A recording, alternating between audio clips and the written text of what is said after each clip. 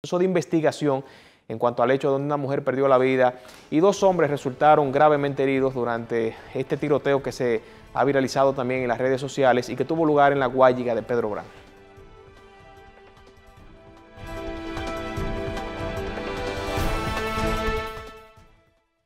Hasta el momento, los reportes indican que un desconocido que viajaba con otro compañero a bordo de una motocicleta se desmontó de la misma y penetró al negocio Ron Marco Terraza y sin mediar palabras empezó a disparar por circunstancias y motivos aún bajo investigación.